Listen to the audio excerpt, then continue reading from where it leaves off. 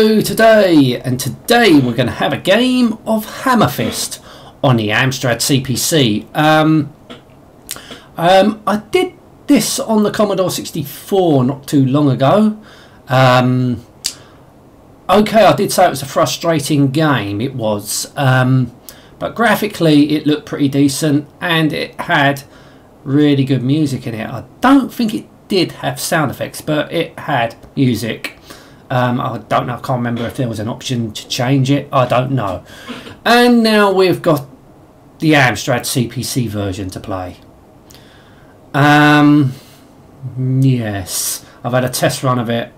Let's just get on with it. Monochromic. What does that say to you? Mode 1. And that means only one thing. ZX Spectrum port. Right, let me get myself familiar with the controls. Right, the controls are a bit weird. It was the same on the Commodore 64. Right, if you push up, you change into another character, a female character. You choose up again, you change back into the male character. Right, both have um, different characteristics. I think with the male character you can fire and with the female character you can do acrobatics and you jump and all that. Um, what you got to do if you want to fire in a direction hold down your fire button and push in the direction you want to fire in by holding the fire button down simultaneously. Um, so I need to fire up so down hold down my fire button and push in the up direction. So now I, I've um, destroyed all those. I can leave this room and if you push spacebar, oh, for fuck's sake, we've got more bloody enemies turning up now. Um, you push spacebar. Hang on a minute. Push spacebar. Hang on, turn into the male character. Push spacebar, it faces the front, and you're going to get whacked by these bloody things, right? Right, on the Commodore 64 version, you can actually destroy the computer. It doesn't seem to be working on the CPC version. Let's try the small computer first. Right. It's not... right, down. Yeah, right. So it looks like I, I headbutted the computer screen and smashed it. Right, let's see if this works on here. Doesn't seem to be... Oh, yeah, here we go. So, doesn't seem to be working. I'm headbutting it, but it doesn't seem to be smashing the computer up. Like you can on the Commodore 64 version, unless you've got to be centered. Let's try that. Are we centered? No, you can't do it on the Commodore, on the Amstrad version. Even though I'm headbutting the fucking thing, it's not fucking smashing up. So it looks like you can't do it. Nah, forget it. Fuck it. Now it takes us to this part of the room. This is this is the only how far I could get on the Commodore 64 version because I said it, it's a frustrating hard game. Um, being a Spectrum port, I know that's bad enough, but what makes it even worse you might thinking, hang on, this is a bit quiet. All you can hear is my voice and the tapping of the keys and whatever. Because there's no fucking sound in this game. So not only it's a crappy Spectrum port, they don't even they don't even put in sound effects.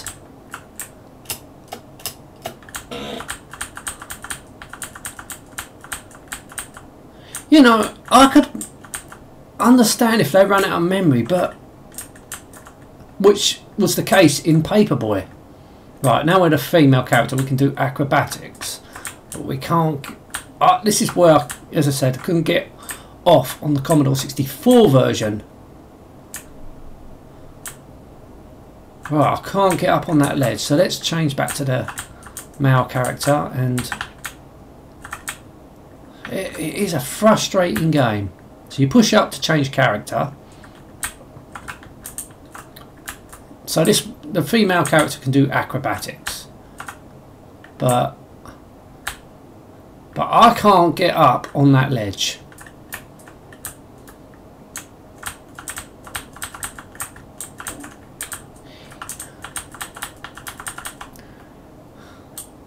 So they couldn't even be bothered to add sound effects. That's just appalling. To get a shitty port from the Spectrum, and I do believe the Spectrum version had sound effects. And uh, no, they just couldn't be bothered. Oh no, this game's shit. Let's, let's just not bother with sound effects.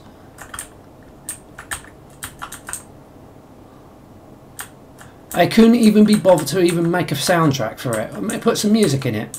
No, they couldn't be bothered.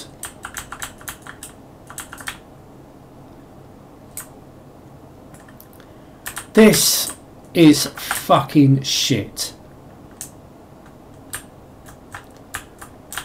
Yes, as I keep saying, it's a frustrating game on the Commodore 64.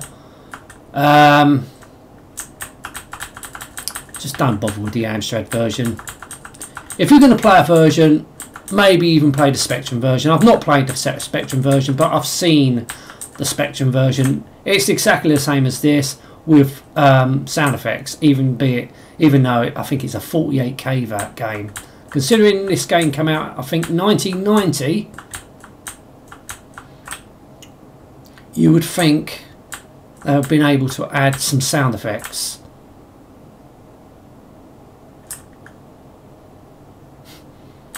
Pathetic.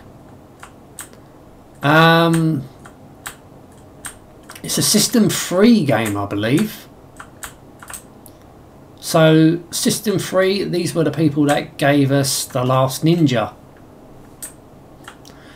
and the last Ninja, the last Ninja 2 I had on the CPC. Yes, once again, that was a Spectrum port. And did that have sound effects?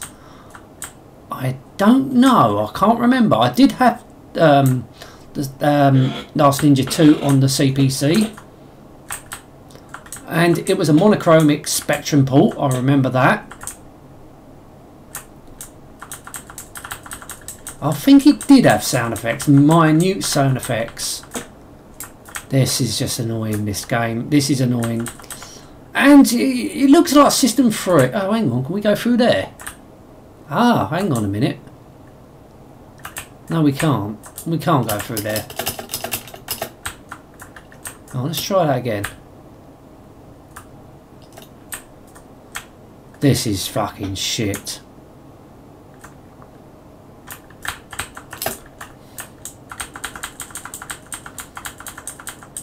this weren't what else was system 3 wasn't IK plus system 3 or was that that was Melbourne House was it? Or was that system 3 I can't remember. Whatever IK plus was pretty good on the Amstrad version.